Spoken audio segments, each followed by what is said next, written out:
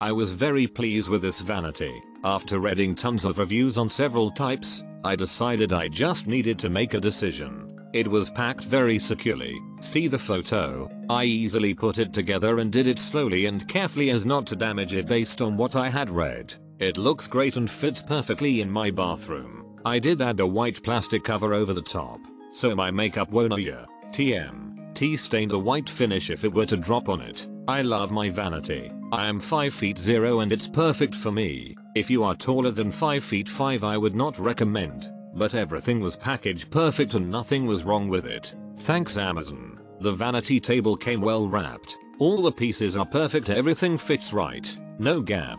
The seat cushion is not well padded but Fataya. TM. S okay. Going to pad and change the fabric. Overall well pleased with my vanity table fits perfect in the little niche in my bedroom. I purchased this product update the 22nd of March 2019. This table even though beautiful has a flaw. The paint that was used on it is a water-based paint. Have a bottle of oil perfume feet leaked a little. The cap was not screwed on tight and did not. TM. T wipe the bottle after use. The painted area where the bottle sat on came off. The oil dissolved the paint. This is no big deal for me cause a TM. Emma painter. So we'll sand the whole table down with fine sandpaper and just paint the whole unit with semi-gloss white paint. Two coats. Wona your TM. T have the problem again. But I do love my table. It a your TM. S perfect for a small space. It a your TM. S the perfect size for me.